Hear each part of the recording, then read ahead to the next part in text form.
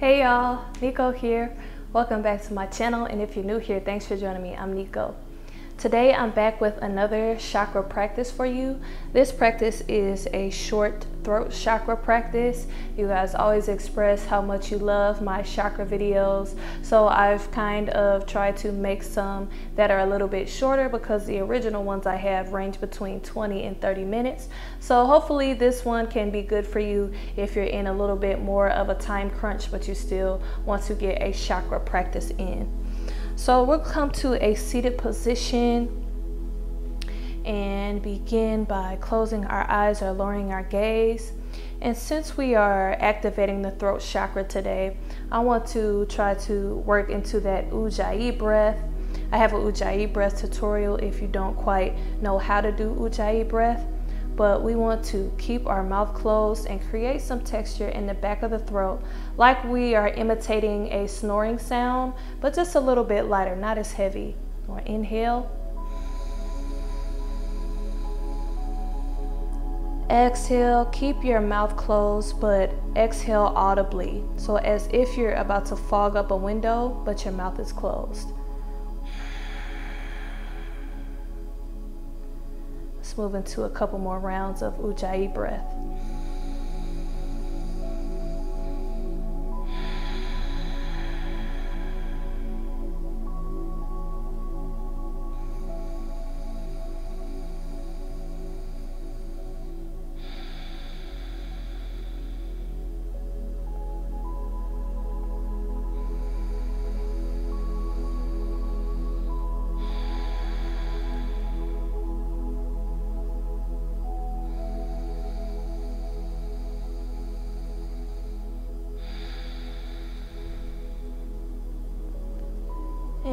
On your next inhale, come back to your natural breath. And let's start rotating our head to the right side. Doing some neck rolls. Inhale back and exhale forward. Moving with your breath. So as we move through our throat chakra practice, we'll be doing poses open, where the head falls back.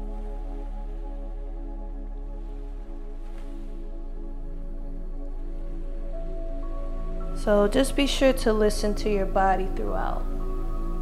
And let's do the same thing, moving to the left. Inhale back, exhale forward.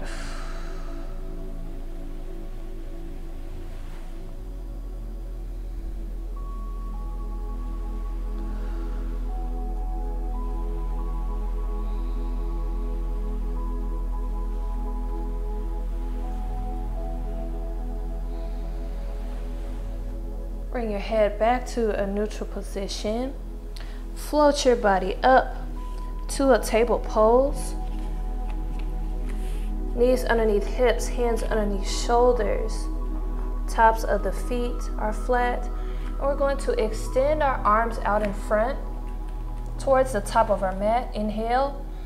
Exhale. Keep your gaze forward as you lower your chest and your chin down towards the ground for puppy pose, keeping the tailbone flipped upward. You can stay here. If you want a little more, you can bring those hands together and bring them behind the head or towards behind the head. Again, keeping that gaze forward, opening up that throat chakra. Inhale.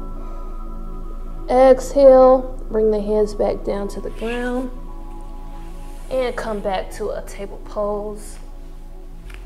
Bring those big toes together, knees out wide. Float your hips back towards your heels. Inhale, lengthen, and exhale, melt down for a child's pose.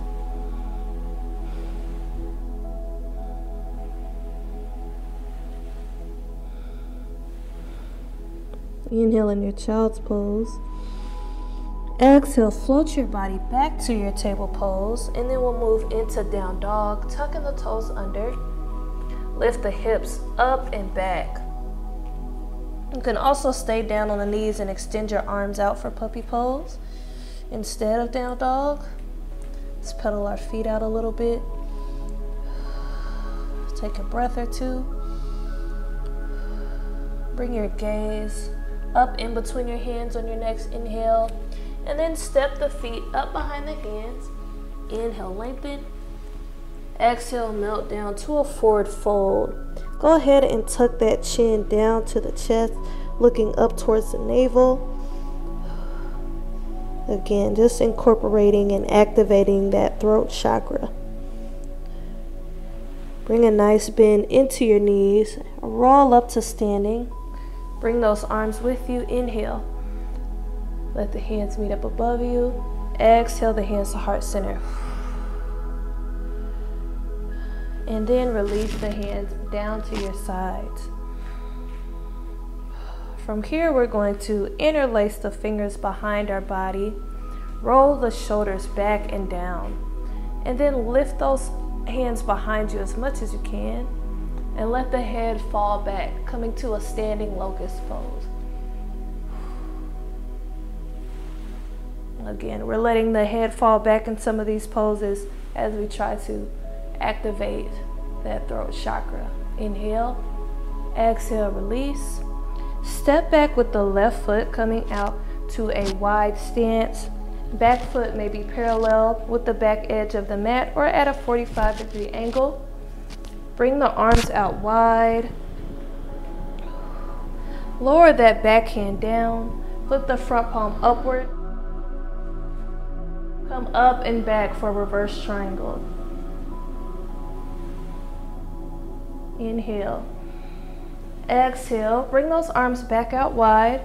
Bend into the front knee, aligning it over your ankle. Flip the front palm upward and rest the forearm above the knee as you extend the left arm up towards the sky for extended side angle. Then you can extend it over the ear or you can find a bind here, bending that arm behind your back, bringing the gaze up towards the sky. Take an inhale. Exhale. Take the hands, bring them down on either side of the foot, come to a lunge position, and then step that left foot up to meet the right, falling back down to your forward fold.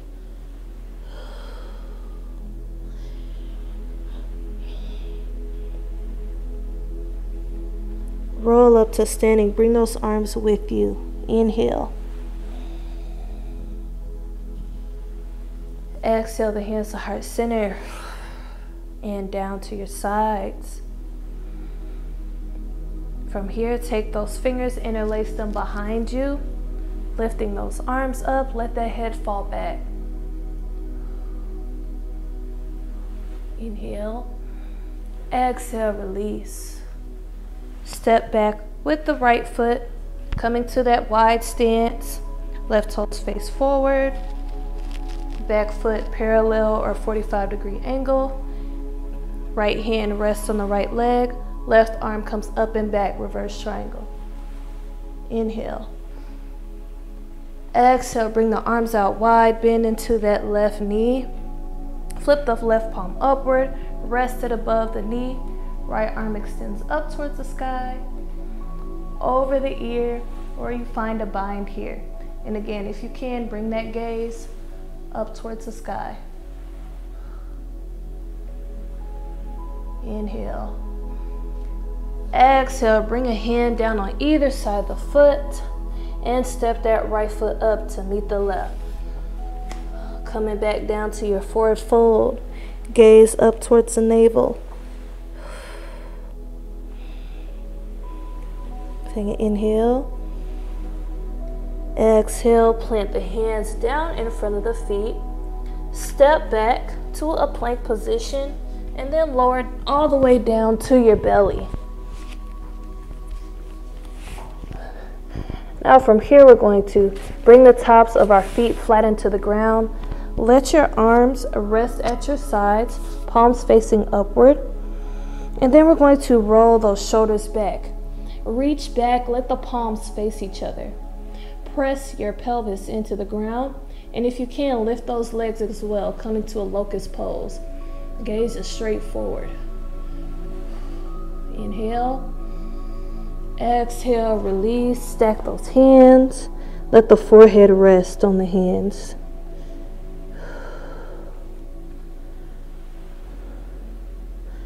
Let's do that one more time. Arms come to our sides. Press the pelvis into the ground. Roll the shoulders back. Let the arms reach behind you, palms facing each other.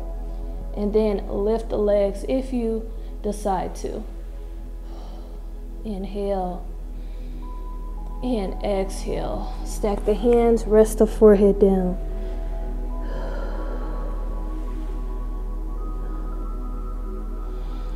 From here, bring the hands underneath the shoulders, pressing your body back to a child's pose. This time, let your knees be close together as you float your hips back towards your heels. Let your arms relax at your sides, and then melt your body on top of the legs here.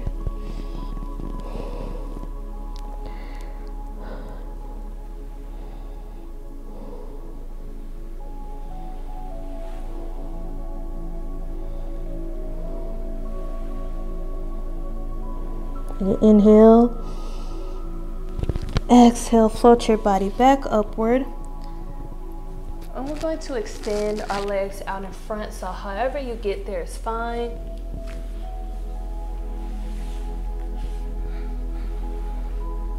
From here, we will float our body back until we are resting on our forearms. And then we'll just let the head fall back, coming to fish pose.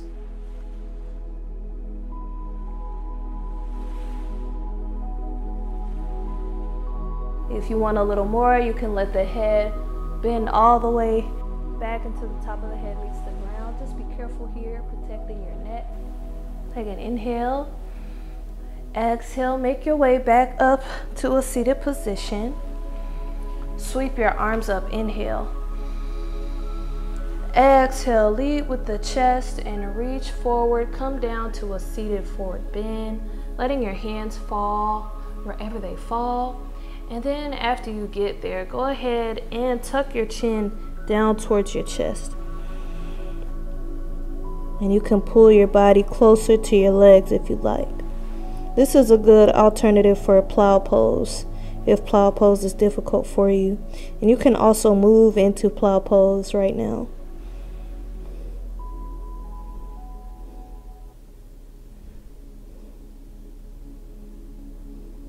Inhale.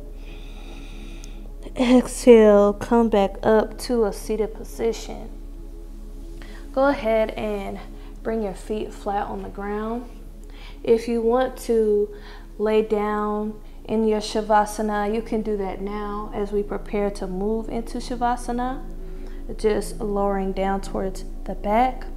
Or you can stay in a seated position, a comfortable seat.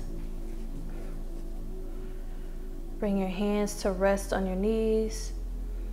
You can lower your gaze or close your eyes. And we'll come back to our Ujjayi breath for a couple of breaths.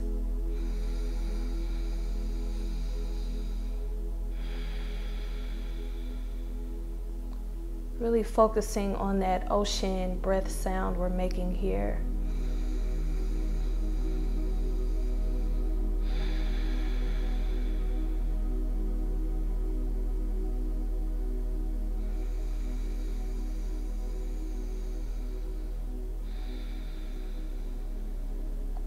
So allow your body to be fully relaxed in your Shavasana.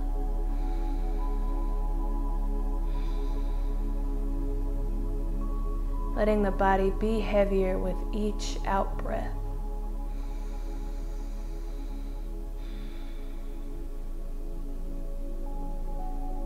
And I'm going to say some affirmations to you. And you can repeat them silently to yourself. I speak truth, love, and life.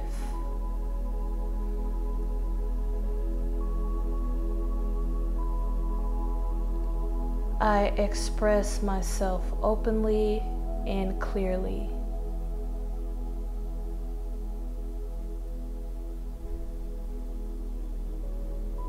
I am learning and growing through communication.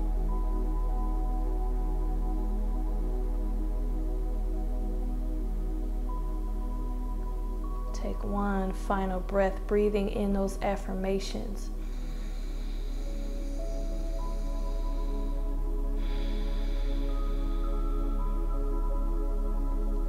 And then begin begin to wiggle your fingers and toes. Coming back into the room. And roll over onto your favorite side using your arm as a pillow. Taking a moment to reflect and to show yourself some gratitude for this practice today.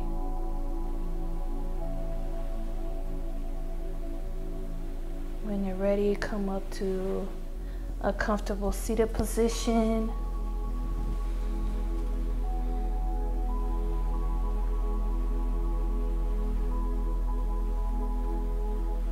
And together we'll sweep the arms up, letting the hands meet up above us in prayer.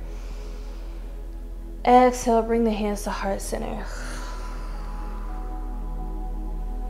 Namaste.